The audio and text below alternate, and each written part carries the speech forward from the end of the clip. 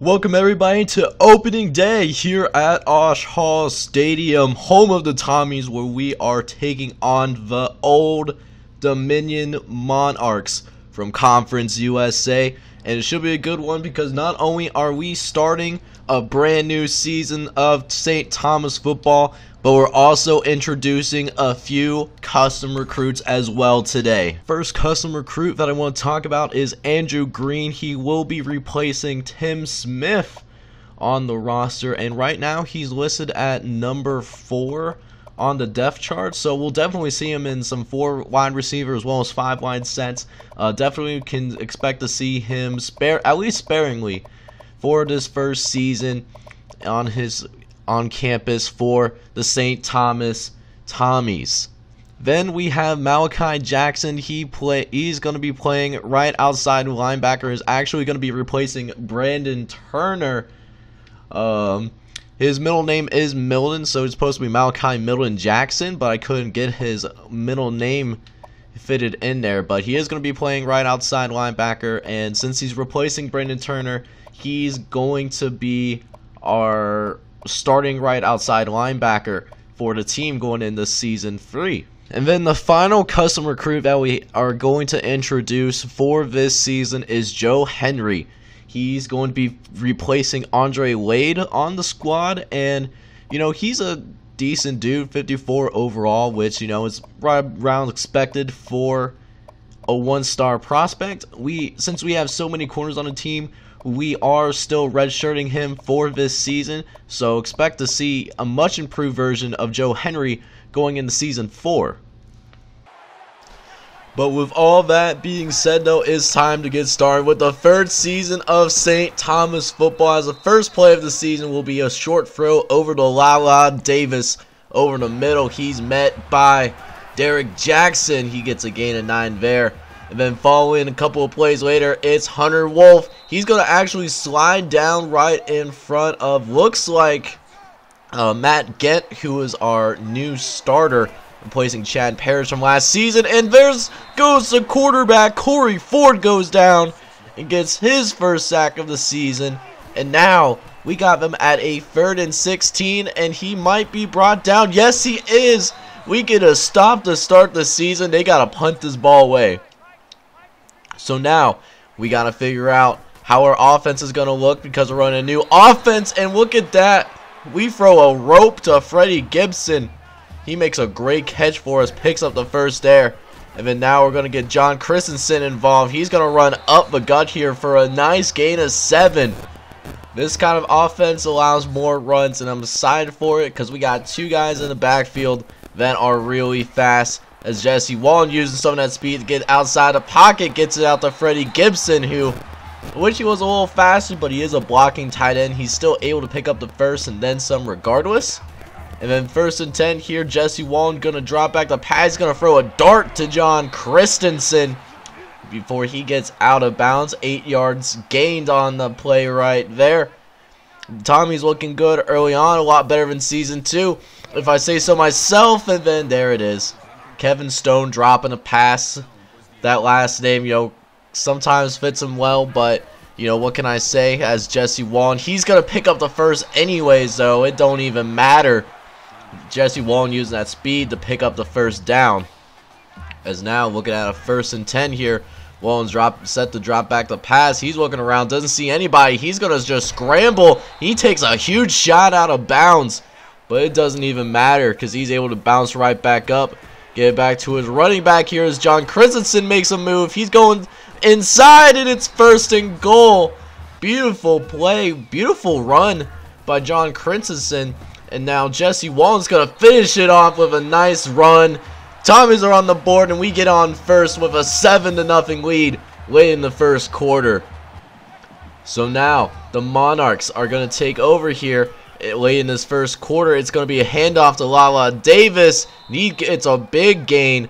Only stopped by Justin Swan and a couple other Tommy players for still goes for a first down anyways. As now Wolf is going to try to scramble again. He This time doesn't pick up as much as he did on previous runs, but he's still close to that first down marker.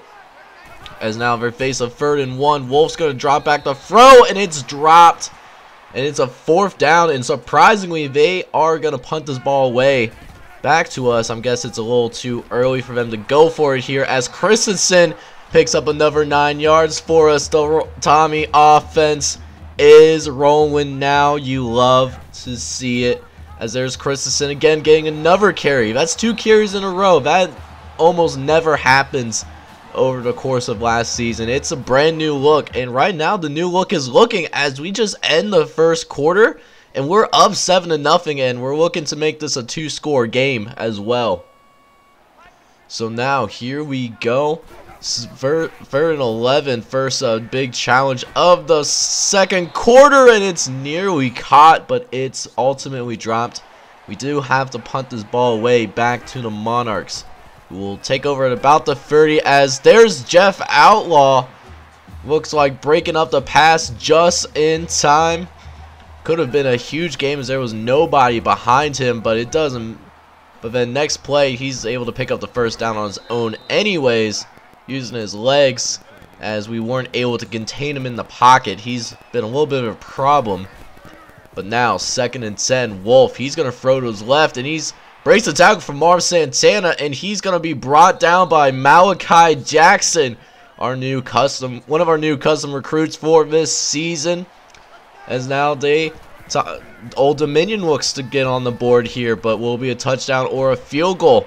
We'll have to wait and see as Jay Gibson is brought out of bounds about third and five coming up here.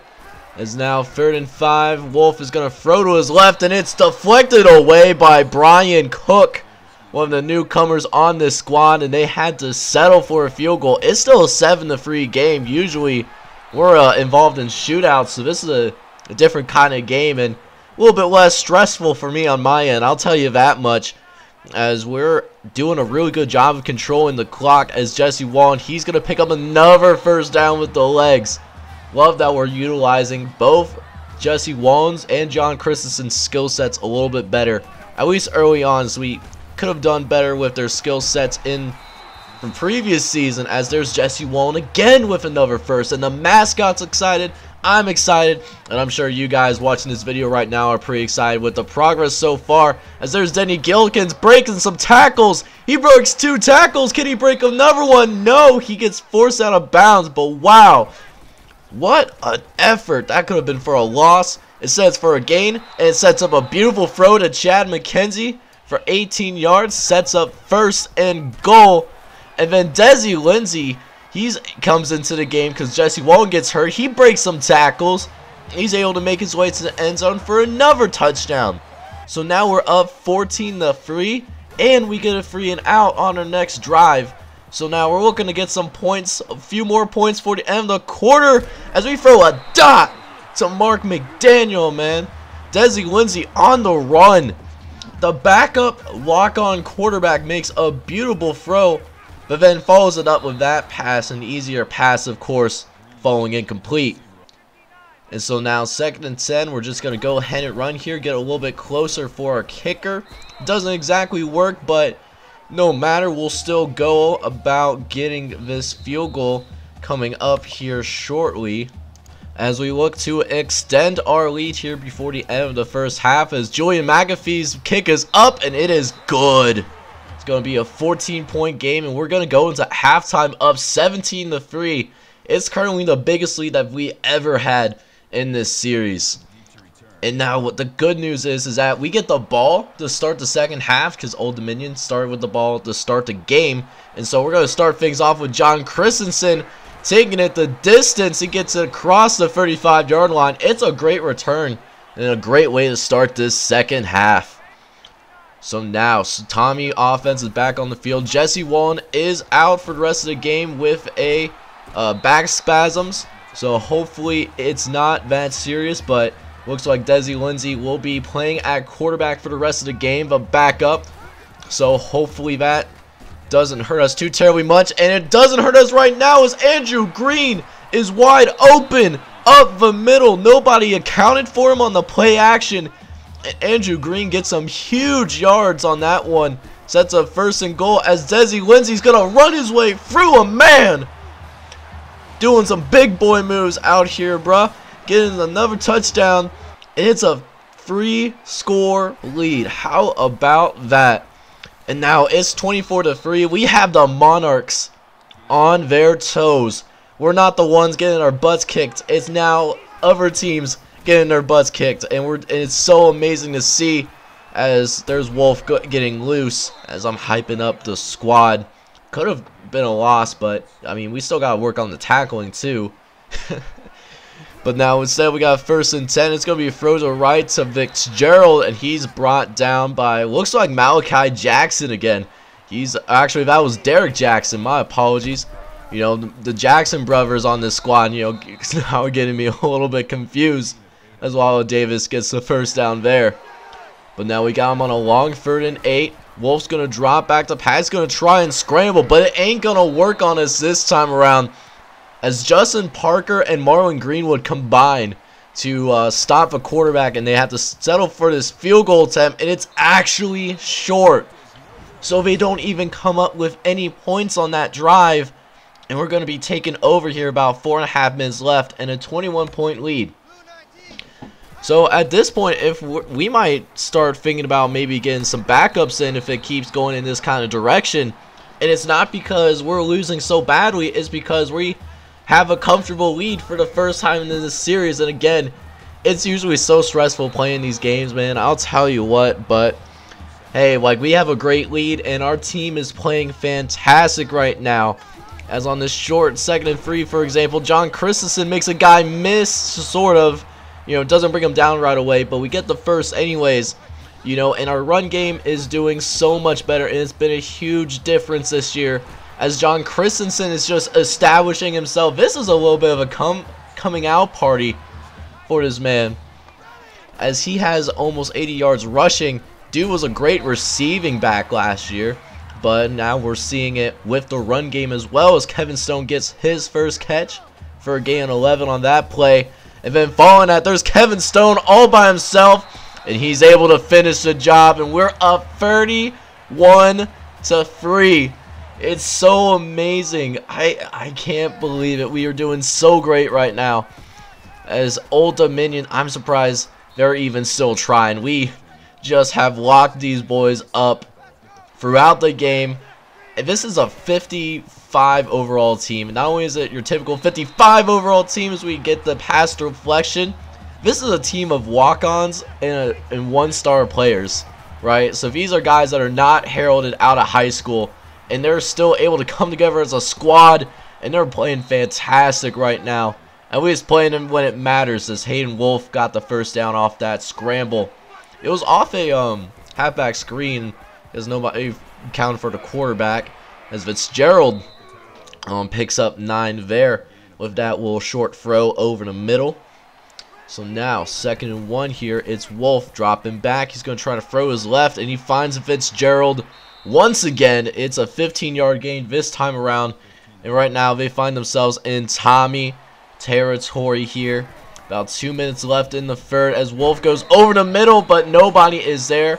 Marv Santana with some great coverage. He hasn't been too active, only two tackles today. But he's been doing a good job in coverage, shutting guys down when need to.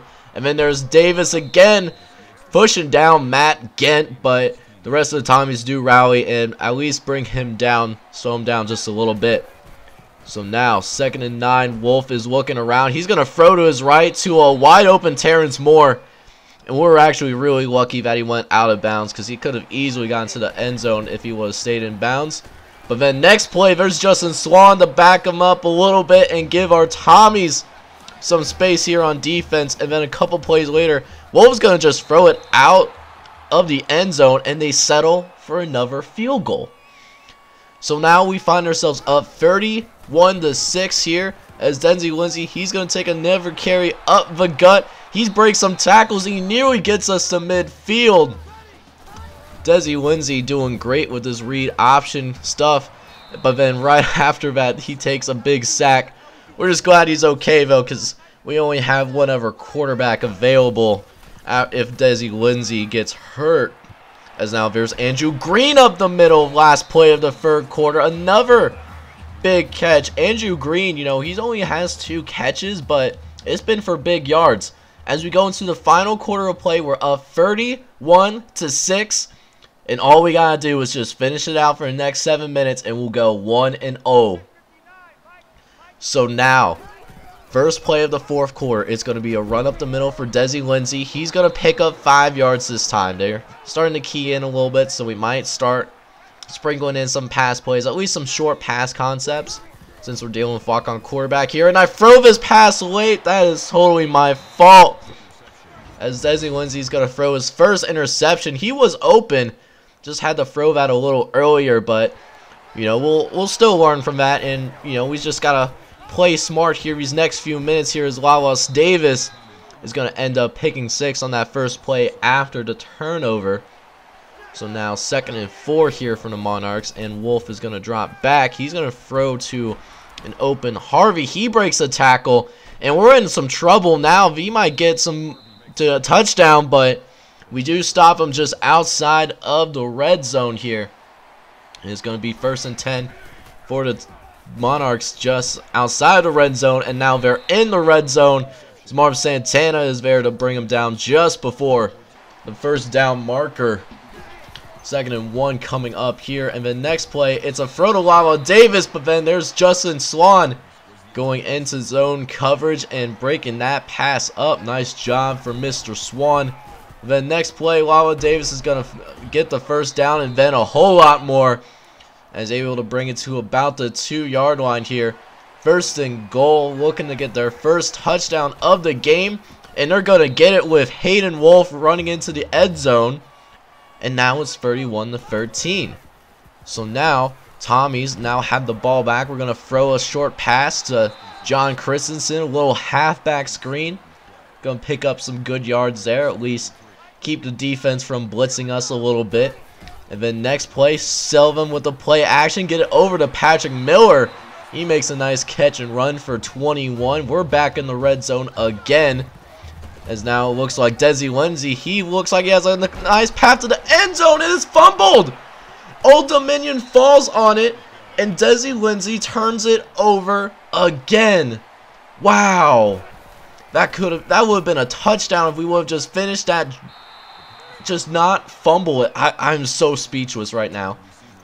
We could have had these guys finished off, but now we gotta go and play some defense. So second and ten, Monarchs get to about the first down marker, and get out of bounds, it stops the clock temporarily. Now, third and one. It's going to be a run up the gut, and we had the right play call. We just couldn't execute. Oh, that hurts so much. We had the right play. It just wasn't there. So now it's a first and 10. And this time he throws it to his right, and Lava Davis goes out of bounds. It's a four-yard loss. And hey, that means they gotta kill some more time here. And time is definitely on our side as there's Justin Swan again. Getting the sack. That's his second sack of the game. As now Hayden Wolf, he's going to throw to his left. He's going to find Fitzgerald. And It's well short of marker. But we got to be ready because I know these Monarchs are going to go for it here. Try to get one last gas. And there's Wolf dropping back, going over the middle to Lava Davis. And Oh my goodness, Brian Cook was blocked. He was there, but they got the first, and now it's still going. So now it's third and eight now. Monarchs are going to try to go for it, and we stop them again. So we have another chance to stop them on the fourth down. Maybe the second time will go a little bit better for us here. But then Wolf throws a dart to the left-hand side. No one's there to cover Terrence Moore on that play. And so now they keep their drive alive. And after two fourth down conversions, this drive is still alive, and so is their chance to win the game to a degree as Harvey burns the defense. No one accounts for him. And suddenly, we're looking at a 12-point game. Pending this two-point conversion, could be 10 points. And they get the two-point conversion, and it's now just a 10-point game. So now, of course, they're going to go for the onside kick, and it's bouncing around. And the Monarchs fell on it. So now, suddenly, with less than two minutes, there is a flicker of hope that Old Dominion can come back here. And first play, well, one of the first plays, it's a big throw to the left-hand side. It's caught, but luckily he's out of bounds. So now it's fourth and 12 here as we get to him right in time. But then there's Collins mossing our boy Marv Santana. He was there, but he just gets mossed by Collins. And so again, free fourth down conversions to end this game. It's still going, but as Jackson drops that pass, we have a long third down. But for the love of God, can we please get a stop here on defense? As there's, we were there, but we can't make the tackle when we need to, and Lala Davis picks up the first. So now, first and 10, basically a first and goal situation. It's a throw up the middle to Lala Davis. He gets into the end zone, and with the extra point, they do get the extra point. It's a field goal game. And so now it comes down to this. They got to get the onside kick, but there's Chad McKenzie to pick up the onside kick. Granted, they do have three timeouts. We're not out of the woods yet, but we will pick up some first downs, and we will finally be able to kneel down with about a minute left. And that is going to do it here, ladies and gentlemen. We win this game, but oh my goodness, did this game nearly give me an actual heart attack. We won 31 to 28, but keep in mind, the Monarchs fought really hard to come back. It was they scored 22 unanswered points in the fourth quarter and nearly came back and won this game. Wow. What an ESPN classic. So checking up the stats for today's game, you know, we had two quarterbacks come in uh, since Jesse Wallen did get hurt in the middle of the game. So Desi Lindsey came in for a little bit, and he was actually pretty solid. 150 yards, one touchdown. He had one interception. Um, that was more in the corner doing a really good job anticipating, but he was actually doing a pretty good job backing up for us. For our running game, you know, we ran the ball a lot more, and you know, I felt really positive about the results. Uh, John Christensen led us today with over 110 yards rushing on the ground. Um, Jesse Wallen also scored a touchdown before leaving the game, and then Desi Lindsey used those legs to get two rushing touchdowns for us which ultimately was the difference. For our receivers, uh, we didn't throw the ball too much since we had the backup in the game, but John Christensen unsurprisingly led us with receptions. However, Andrew Green, the true freshman and custom recruit, led us with 68 receiving yards today, just off of two catches. And then Kevin Stone, off of two catches, also caught the only touchdown pass for the Tommies. Finally, taking a look at this defense, and it's a much improved defense from last year.